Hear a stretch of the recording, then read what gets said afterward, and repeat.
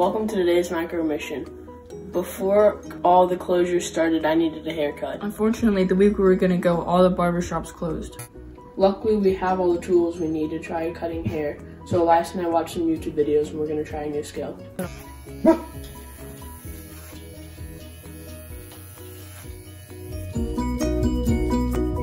Elias changed his mind about cutting Dane's hair, so I stepped right in.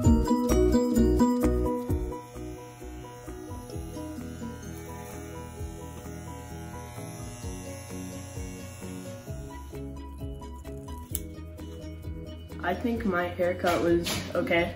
I think my haircut was great. The next challenge is to do something that your parents would usually pay for. Ask an adult for permission. Thanks for watching.